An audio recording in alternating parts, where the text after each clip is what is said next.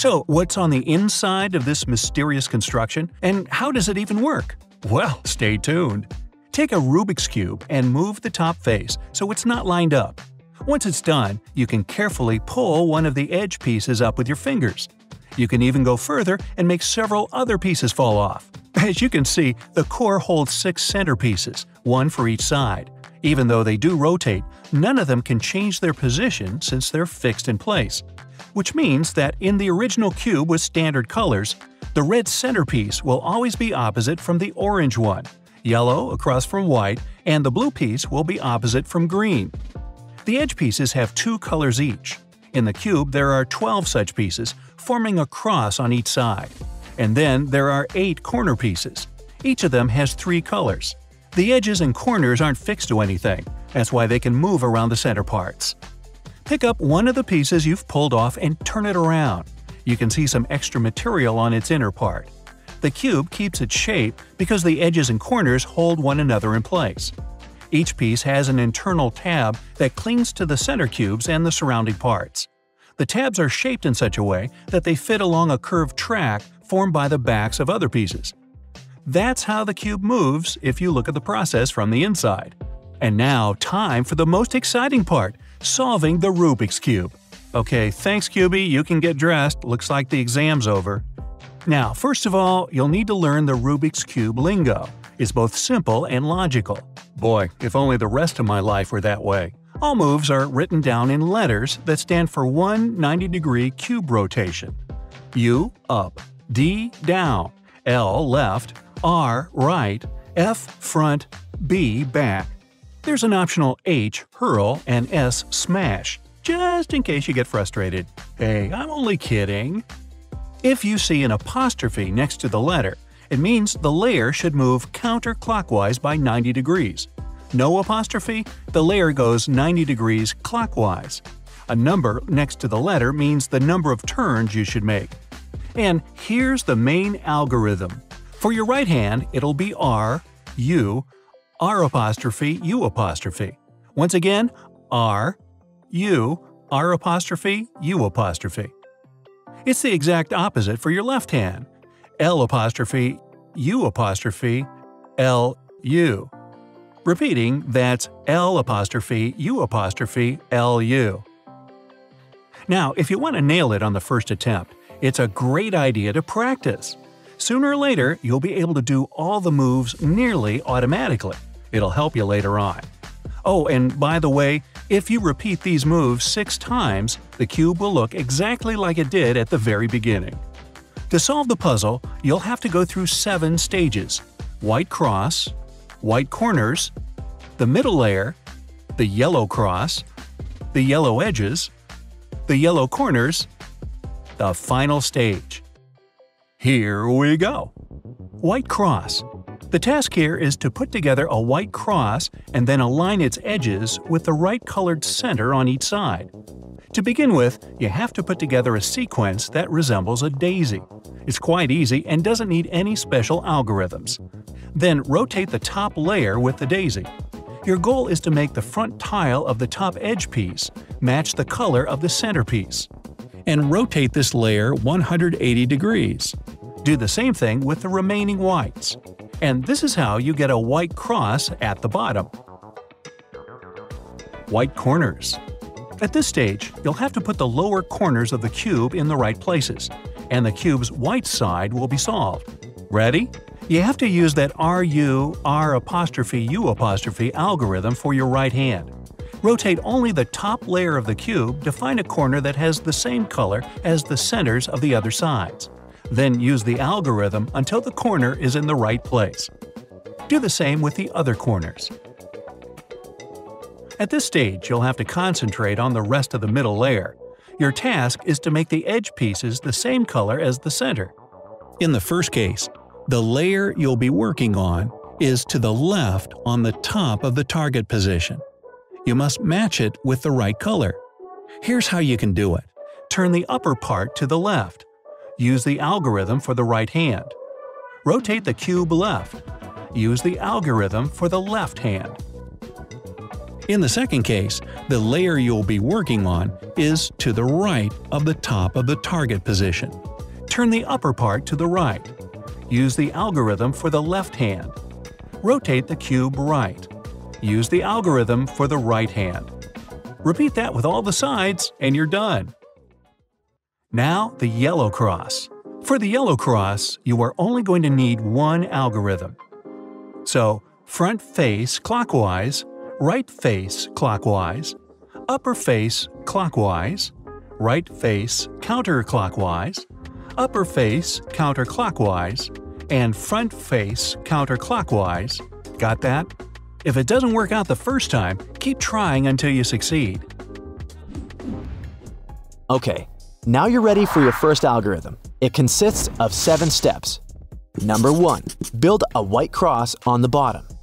Number 2. Solve the white corners. Number 3. Solve the middle layer. Number 4. Build a yellow cross. Number 5. Swap yellow edges in the top layer.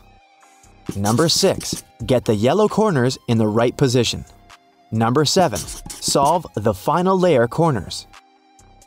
Step 1. Build a white cross on the bottom.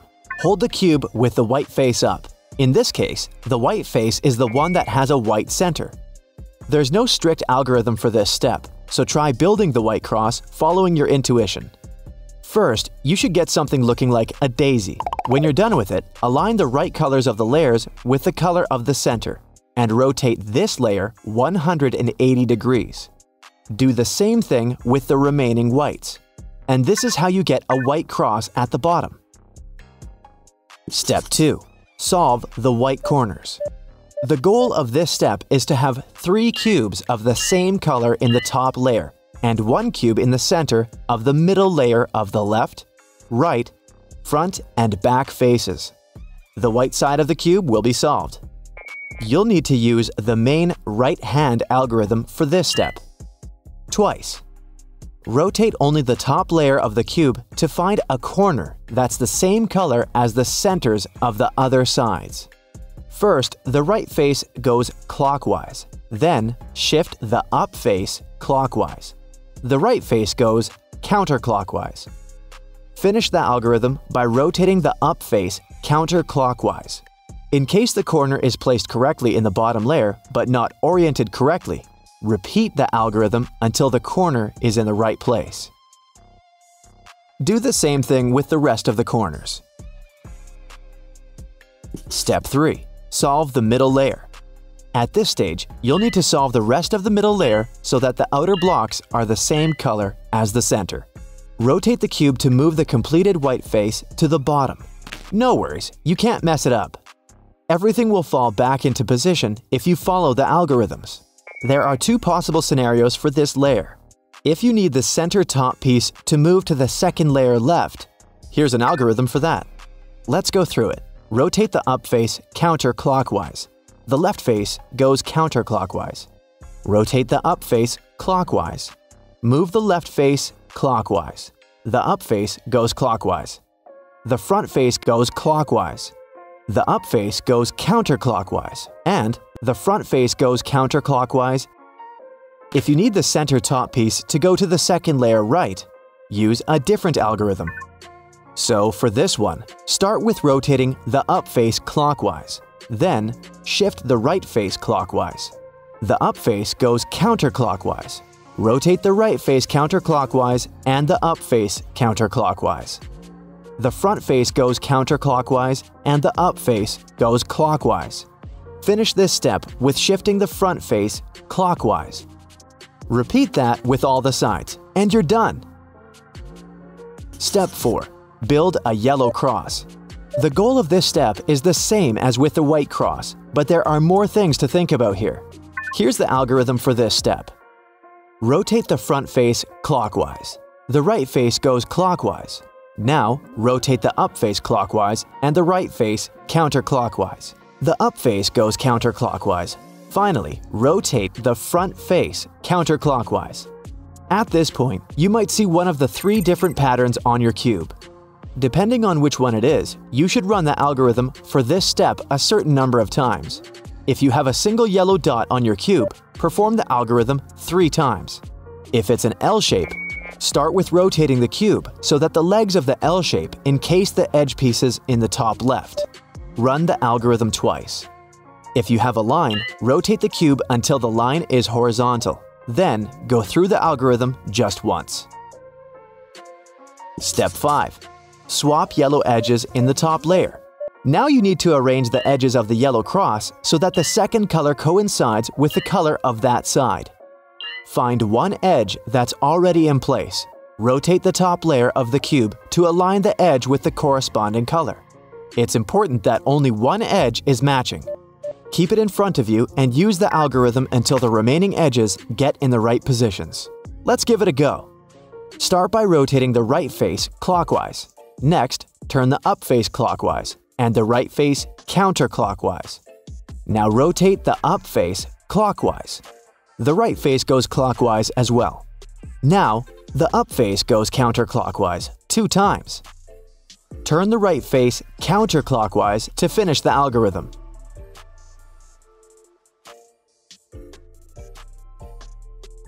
Step 6. Get the yellow corners in the right position. At this stage, the task is to get the remaining yellow corners where they belong. You only need to move them in place. You're not solving them just yet. Find the corner that's already in place. In this case, it's even rotated correctly. But that's not important. And use this algorithm until the corners are in their places. Okay, let's do it. Turn the up face clockwise. The right face goes clockwise as well. Rotate the up face counterclockwise and the left face counterclockwise. The up face goes clockwise and the right face counterclockwise. Now, turn the up face counterclockwise and the left face clockwise. Keep going until you make it. Step 7. Solve the final layer corners. You're almost done. All you have to do is solve the corners. Rotate the cube so that the yellow side is facing you. You'll work with the upper right corner. Let's solve it corner by corner using this algorithm. Turn the up face clockwise and the right face counterclockwise. Rotate the up face counterclockwise, the right face goes clockwise. Once you're done with one corner, move to the next one by rotating the side that's facing you. Keep using the same algorithm. Rotate the front layer so that all colors of the cube match. Congrats! You now know how to solve a 3x3 Rubik's Cube. If you want to do it faster, get a high-quality cube. Probably a speed one. Learn the basic algorithms by heart, and give it as much time and practice as you can. Then, the moves will come automatically. And you'll be able to solve the cube in under 5 seconds, no problem. I'm going to show you the way to solve a 2x2 Rubik's Cube that works 100% of the time. 1. The right finger trick. It just takes 4 moves and helps us solve most of the cube. Turn the right face of the cube clockwise 90 degrees, upper face clockwise, the right face counterclockwise, and upper face counterclockwise. Easy, right? Let's see how it looks on a real cube. Turn the right face of the cube clockwise, upper face clockwise. Now, right face goes counterclockwise and upper face counterclockwise. Let's do it again. Right clockwise, upper clockwise, right counterclockwise, and upper counterclockwise. Once again, right, upper, right, upper, and the fourth time. I think I mastered it. Number 2. The left finger trick. This is a mirror reflection of the previous algorithm, and it's also done in four moves. The left face goes counterclockwise, upper face counterclockwise, left face clockwise, upper face clockwise. That's the algorithm. Let's see how it works on a real cube. So you turn the left face counterclockwise, upper face counterclockwise, left face clockwise, and then upper face clockwise, and once again left, upper, left, upper. Keep going. One more time, left counterclockwise, upper face counterclockwise, left face clockwise, upper face clockwise. Number 3. Corner rotation. Just like the previous two algorithms, this one is done in four moves. First, you turn the right face clockwise, and then the front face counterclockwise. Then, right face goes counterclockwise, and finally, the front face turns clockwise. Let's try it. Right, front, right, front. One more time.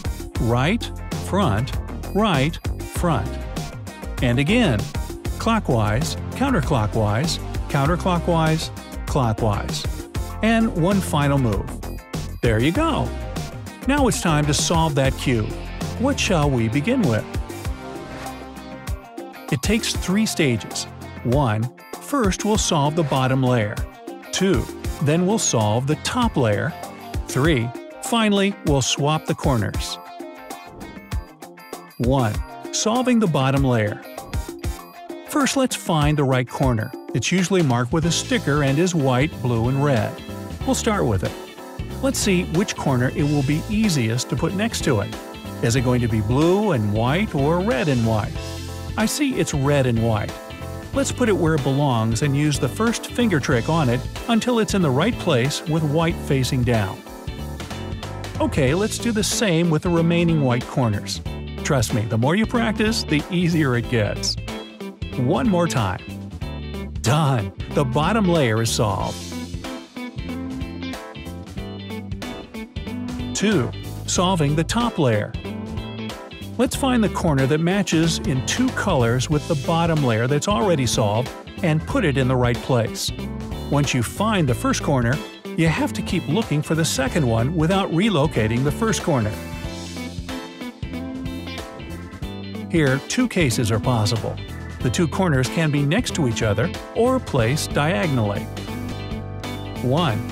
If two corners are next to each other, take the cube in your left hand, holding the two matching corners, and do the right finger trick three times. Do you remember how to do it? It's right face clockwise, upper face clockwise, the right face counterclockwise, and upper face counterclockwise. Once again. There you go. One more time. Now turn the entire cube clockwise and do the left finger trick three times. Left face goes counterclockwise, upper face counterclockwise. Left counterclockwise, upper face clockwise. Once again. And the final move. In case you've done it right, all the corners will be in place. 2. If two corners are in a diagonal. In this case, it doesn't matter how you hold the cube but the white side has to face down. Now let's do the same as for neighboring corners. So it's the R, U, R apostrophe, U apostrophe three times. Turn the cube clockwise and do the L apostrophe, U apostrophe, L, U be moved three times. Now let's find the corners that are next to each other, and we have the same setting as in the first case.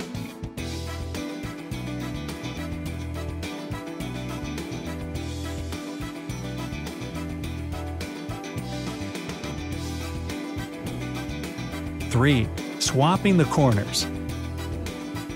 Now, all you have to do is swap all the corners yellow side up. Grab the cube white side down, and let's keep swapping the corners until the yellow part of the rotating corner is up. Without rotating the cube itself, keep turning the upper side towards the corner that's not in place and keep using the algorithm.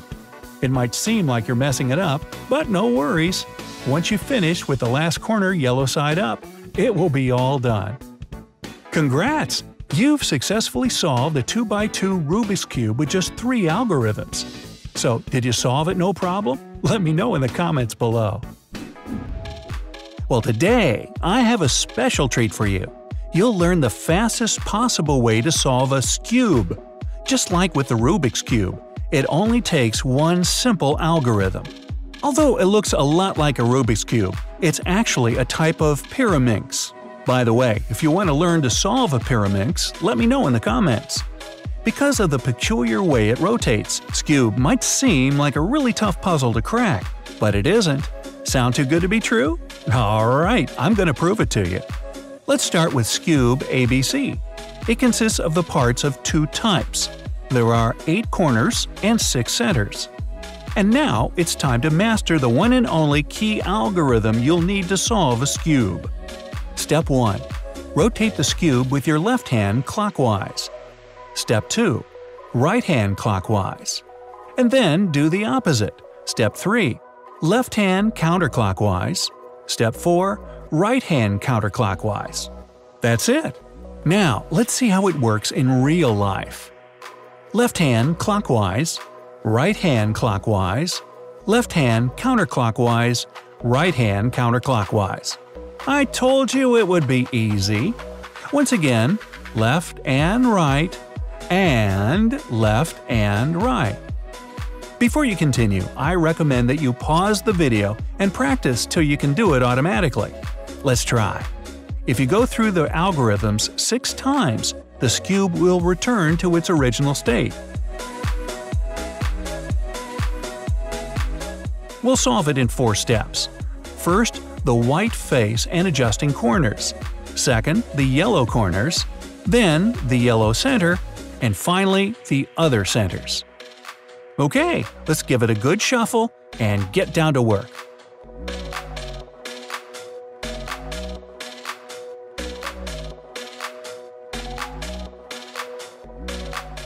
Step 1. Solve the white face. Let your intuition guide you at this step. It's really simple, just try it. What's really important here is to match the corners that are next to the white corners. Just like this.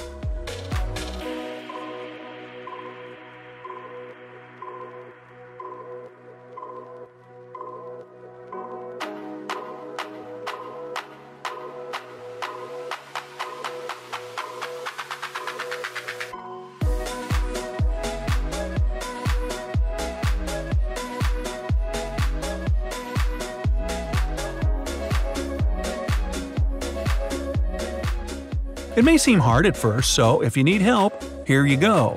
Case 1. If the corner you need to rotate is under your left hand, make one turn with your right hand. It's the most common scenario.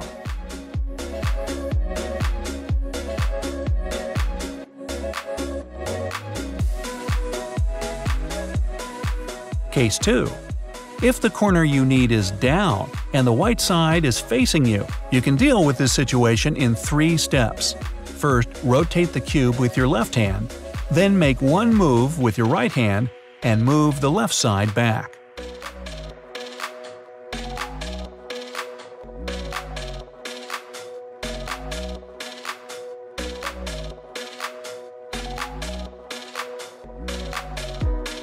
Case 3. If the corner you need is on the bottom side of the skewb, it's a bit trickier, but you can fix it in 5 moves. First, your right hand moves up. Then, the left hand moves up. After that, you rotate once again with your right hand in the opposite direction. Then the left hand goes down, the right hand goes up.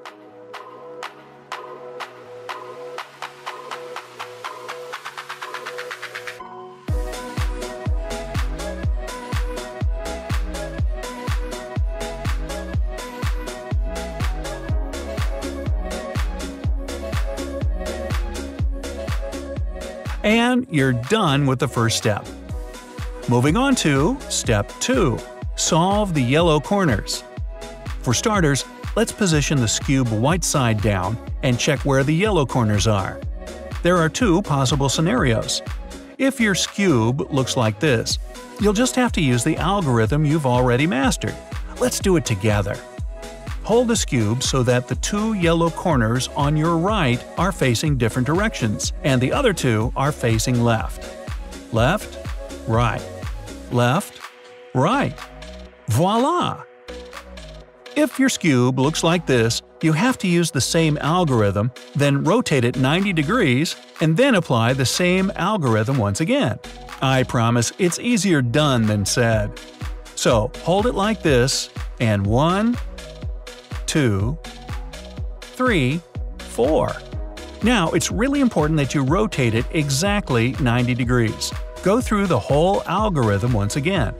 And one, two, three, four. And it's done! The next step is step number 3 solve the yellow center. So all the corners are solved, now it's time to put together the yellow side. Again, there are two possible scenarios. In case the yellow side is already solved, you can just skip step 3 and move on to step 4. If not, use the algorithm you've practiced. Rotate the cube 180 degrees and then use the algorithm once again. Let's try it. Find the yellow center. Use the algorithm 1, 2, 3, 4, rotate it, and once again, left, right, left, right. Good job! Just one more step to go. Step number 4. Solve the remaining centers. Just like in the previous step, you have to find the right center, apply the algorithm, rotate the cube, and then use the algorithm once again. Let's try with the green side. 1, 2, 3, 4. Now turn it around. And 1, 2, 3, 4. Done! And now the same with the blue side. 1, 2, 3, 4. Turn around. Left, right, left, right. And that's it! The cube has been successfully solved. Congrats!